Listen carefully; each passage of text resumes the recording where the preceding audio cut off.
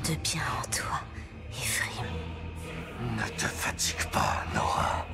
Celui que tu as connu n'existe plus. Il ne fallait pas m'abandonner, Nora. C'est à cause de toi et de mère. Elle qui hurle à tout va que rien ne compte plus que ses enfants. J'ai tout fait pour la retrouver. J'ai sillonné l'univers. Et tout ça Quelle a été ma récompense. Vous m'avez livré au nécromonde. Tu n'as aucune idée de ce que j'ai enduré